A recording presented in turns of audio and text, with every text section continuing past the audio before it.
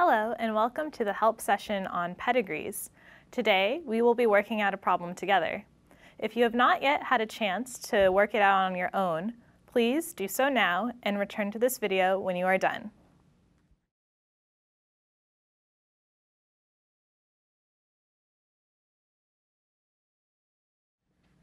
Now that you've had a chance to look at this problem, let's work it out together.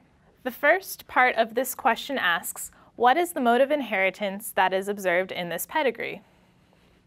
So we know that there are two main types of modes of inheritance. It can either be dominant or recessive, and from there it can either be autosomal or X-linked. If a disease follows a dominant inheritance pattern, generally it must be present in every generation. So here we notice that the disease is present in the first generation, but it's not present in anyone in the second generation. However, then it reappears in the third generation. This suggests that the disease is recessive.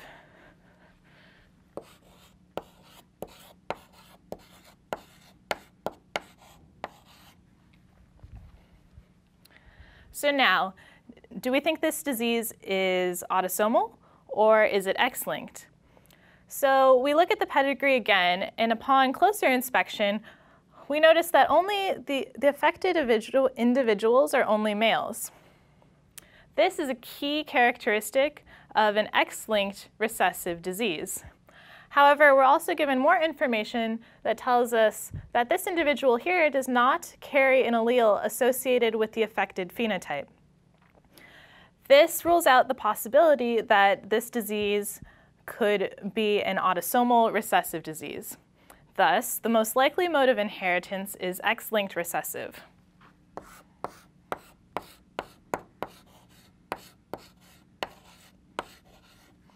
Great. So moving on to the second part of this problem, we are asked to determine the genotypes of individuals number one and number three. So if we look at this pedigree, we know individual one is female and not affected by the disease. Female individuals contain two X chromosomes. And since she is not affected, she must contain at least one uh, large r. So we'll call the allele associated with the disease small r.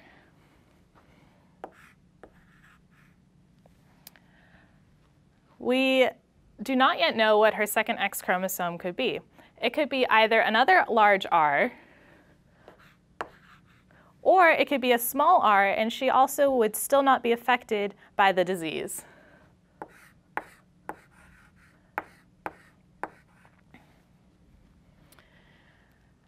This male right here is affected by the disease, so he must have an X with a small r. Remember that males have one X chromosome and one Y chromosome. So now, making our way down to individual number three. Individual number three does not have the disease and is female, so again must have two X chromosomes.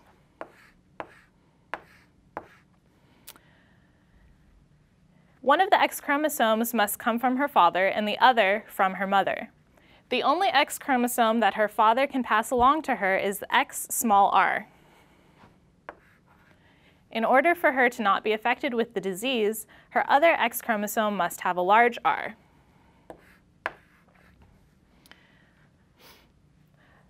She was able to get this genotype with her mo mother having either of these two genotypes. To make sure that both of these genotypes are possible for this mother, we need to examine her other children. Her son here is unaffected, so his genotype must have been X large R Y. It's possible for him to get this genotype when the mother has either of these two genotypes. Similarly, this daughter could be unaffected just as this daughter was unaffected. So the mother can have either of these two genotypes, and we're unable to rule out uh, one of them. So let me just write up the answer over here.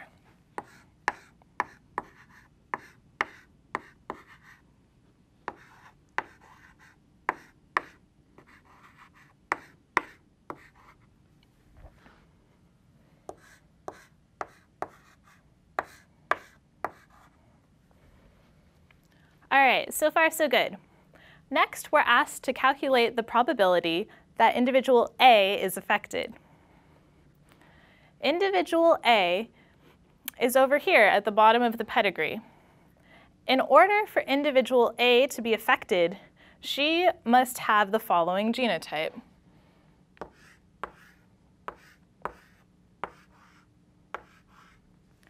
The only way for her to get two little r's is for her to get one from her father and one from her mother. We know this is possible because her father is affected with the following genotype of Y, X, small r. Her mother is not affected, so for her to get this small r, her mother must be a carrier for the disease and have the genotype X, large R, X, small r. So in order to determine the probability that A is affected with both X small r's, we must also know the probability that her mother was a carrier for the disease. Let's call her mother individual C. So we know the genotypes of her parents. Her mother was a carrier, and her father did not have the disease, so his genotype was Y with X large R. So to calculate the probability that individual C is a carrier for the disease, let's go back over here and draw out a Punnett square.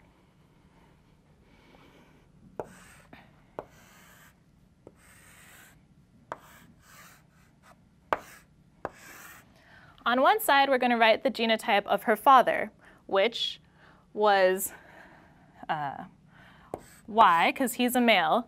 And then he was not affected by the disease, so it was X with a large R. Her mother was a carrier, so she had one copy that was X large R and one copy that was X little r. So next, we want to know the probability that she was a carrier. The only ways you can get females is by looking at this top row here.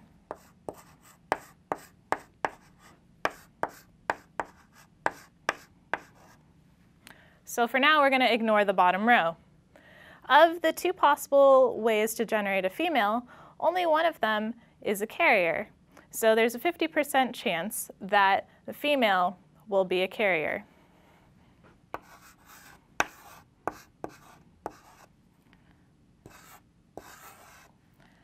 So this is a 50% chance that individual C is a carrier, which we will denote with this half filled in circle. All right, so now that we know the probability that C was a carrier, we need to know the probability that her progeny, A, was affected with the disease. Again, looking back over here, her progeny needs to inherit the X small r from the mother and the X small r from the father. So once again, we can draw a Punnett square to better understand this.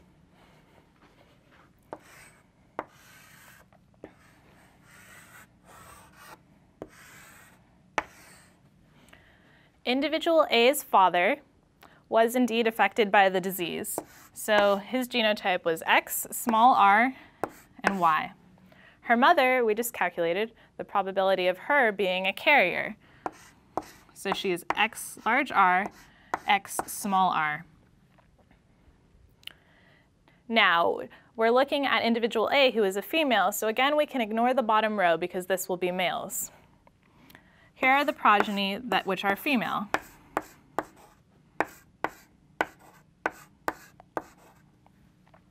Of the two possibilities, only the one on the right, x small r, x small r, is affected by the disease. So there is a 50% chance that A will be affected by the disease given that her mother is a carrier of the disease.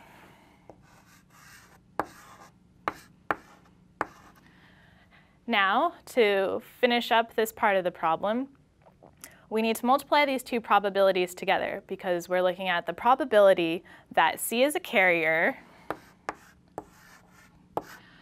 and the probability that A is affected with the disease.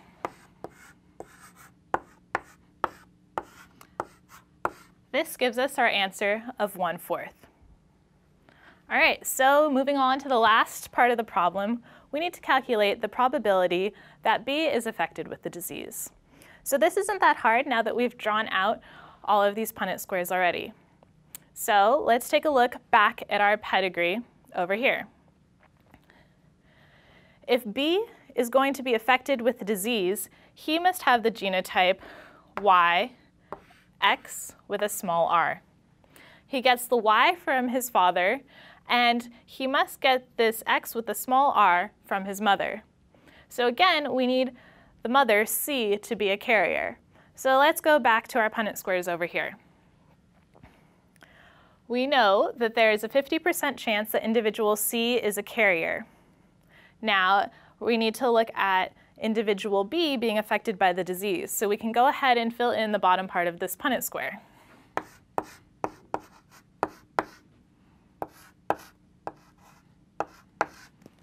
So of these two males that are possible, only one of them is affected with the disease. So again, there is a 50% probability that that child will be affected with the disease. Again, we are going to multiply these probabilities together. So the probability that the mother is a carrier and that the son is affected with the disease gives us one quarter. That concludes our problem on pedigrees. Thank you for joining us.